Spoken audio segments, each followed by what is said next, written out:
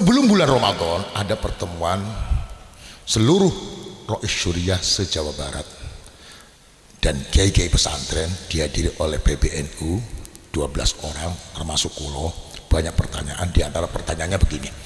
Setelah Pak Jokowi dan Kiai Ma'ruf Amin Rois Am menang maka NU dapat apa? Dapat apa? Dapat menteri apa? Berapa menteri? Apa tadi kepala stasiun apa tadi apa? Semua menunjuk ke Mustafa jawab ke Mustafa jawab. Gue kan jawab. Ketika sahabat Umar menjadi khalifah sahabat Umar ngongkon ngutus sahabat Khalid bin Walid perang.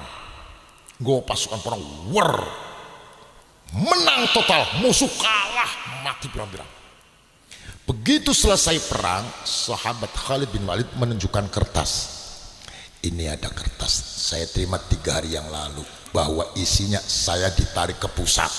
Diganti oleh A. Berarti apa? Dipet pecat nah, kasarannya. Aku telung di Rasul Singapura dipecat ditarik ke pusat. Loh anda berarti kan tidak sah. Kenapa anda terus memimpin perang padahal anda dicabut mandatnya? Jawabnya ujahidulillah la liomar aku perang untuk Allah bukan untuk Umar. Allah. Aku perang untuk Allah. Saya perhitungan dua hari lagi menang. Maka saya tetap bimbing dan menang Alhamdulillah. Sekarang saya mau menghadap sahabat Umar. Apa pun putusannya saya terima dengan segalanya. Saya mau aku di penjara-penjara tapi saya tugas untuk lillah.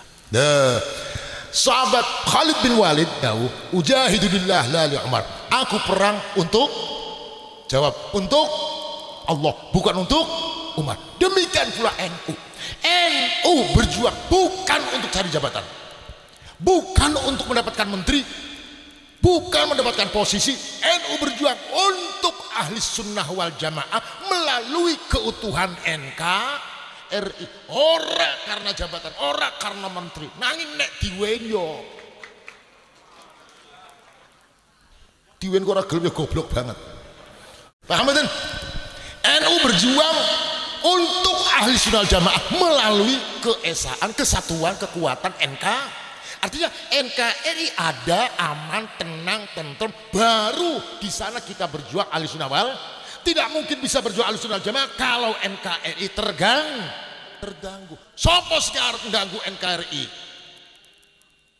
Jenggot.